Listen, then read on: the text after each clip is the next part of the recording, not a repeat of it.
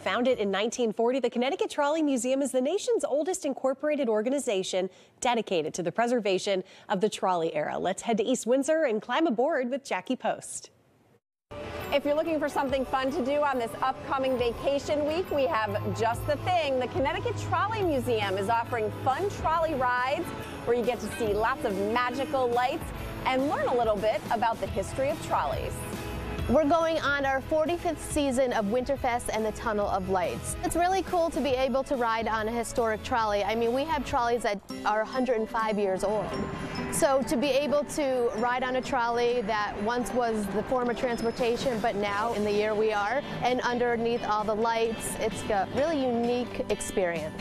And when you come to East Windsor to visit, you can choose to ride in a cozy closed trolley car, or if you're more adventurous, climb aboard a trolley car that's completely open. People love the open car. Even though it's a little chilly, it's really gives you the full experience. You're riding out in the elements. You're riding through the lights. So it's really the, the choice of our visitors.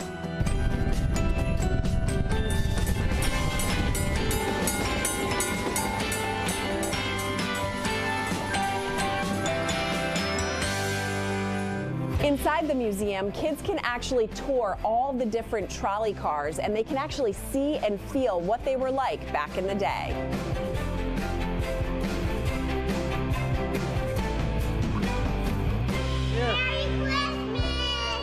The history of trolleys go back all the way to the 1800s. These cars are old and they're still running after 130 years. Meet Justin Chassis. He's been volunteering at the museum for a long time. My parents bought a membership when I was 10 years old and we moved into the area and at age 11 I started volunteering here at the museum and I've been here ever since. Did you know that the trolleys were an important part of life for Connecticut kids? Unlike the school buses that kids ride on today, in order to go to school here, you had to get on a trolley car right here in East Windsor, right where our trolley cars are running, and go all the way out to Rockville, Connecticut. They were the only place in the area in the early part of the 1900s that actually had a high school.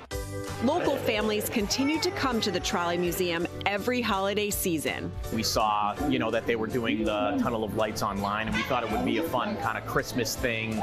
We did the open air trolley, so it was a little bit chilly, but not too bad. So yeah. they liked it. Good music, you know, yeah. some nice carols. I think, you know, anything that we can do as a society to preserve our history, um, I think is is awesome. It really brings Christmas alive. It's a tradition for families. Families come back year year after year just for this tradition. It's kind of like the start of the holiday. Winterfest in the Tunnel of Lights is open for school vacation week, so the 26th through the 30th. And all tickets are sold online, so you go to our website, www.ct-trolley.org to purchase your tickets.